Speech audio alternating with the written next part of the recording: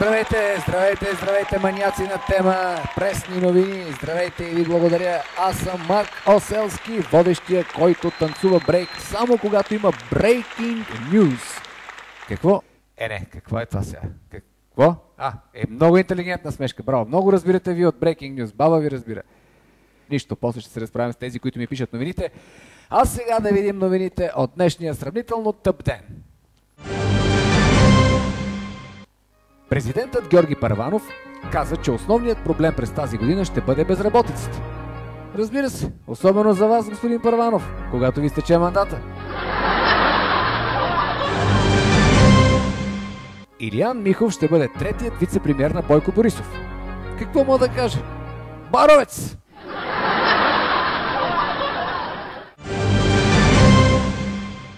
Новият американски посланник Джеймс Уорлик дойде в България с кучето си. Е, стига бе, не вярвам пък жена му да е чак толкова грозна.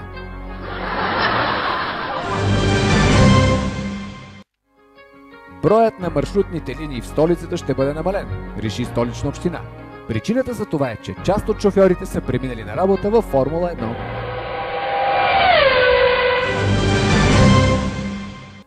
Разбрахме, че певицата Шер е в начален стадий на склероза. Странно, нали ли Иванова, нищо и няма.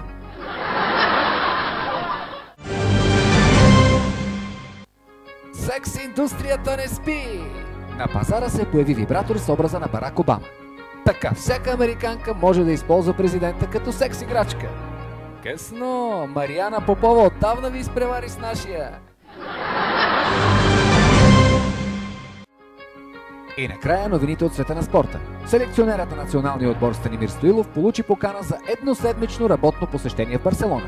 По време на курса Мари ще се обучава как да маркира стоките във фен магазина.